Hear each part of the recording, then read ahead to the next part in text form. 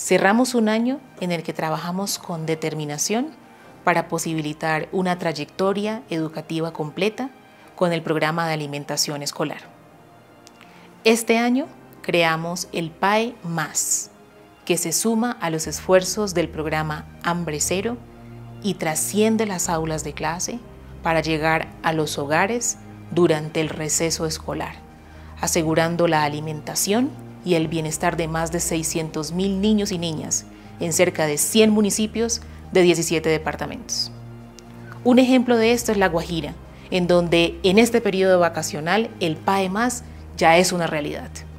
En el presupuesto del próximo año incluimos una partida de 2 billones de pesos para atender aproximadamente a 6 millones de niños, con la concurrencia de las comunidades.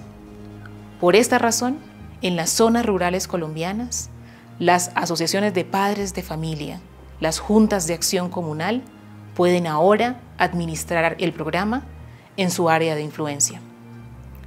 Con esta apuesta, esperamos que sigan velando por la transparencia en la operación y en el fortalecimiento de las capacidades populares.